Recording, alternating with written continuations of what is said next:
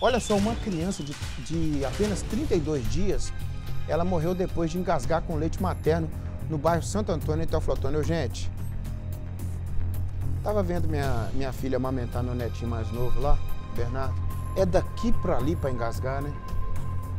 É daqui para ali. Mas a minha filha, a enfermeira, conseguiu tirar, desengasgar.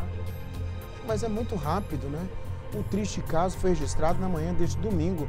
De acordo com a Polícia Militar, a mãe contou que amamentou a bebê, a colocou para dormir e acabou pegando no sono, né? Enquanto cochilava, não viu a criança se engasgar e ao acordar percebeu que a pequena não respirava mais. Olha só, que tristeza, né?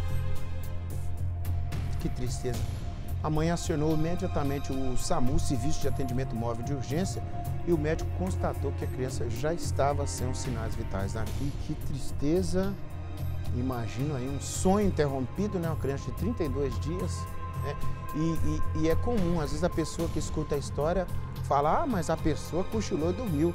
Quem fala isso não sabe é, como que a vida de uma, de uma mãe, né, de um recém-nascido, como que a vida dela muda, né?